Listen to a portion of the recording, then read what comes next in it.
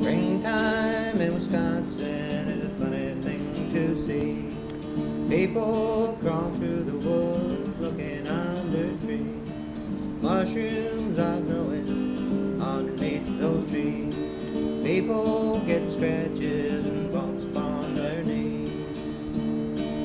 Well, mushrooms come in gray and gold, Looking like little pine trees and spongy disguises.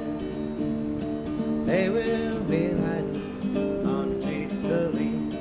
You'll find them growing under dead elm trees.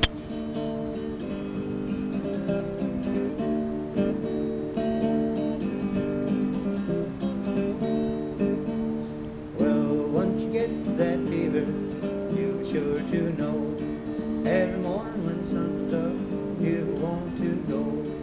Can't get enough though mushrooms to satisfy your hunger. Sauteed in butter sauce flavor seems to linger.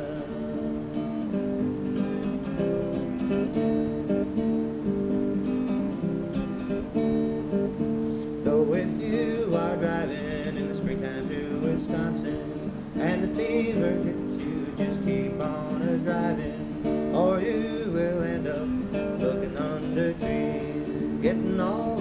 patches and on your knee. Springtime in Wisconsin is a funny thing to see.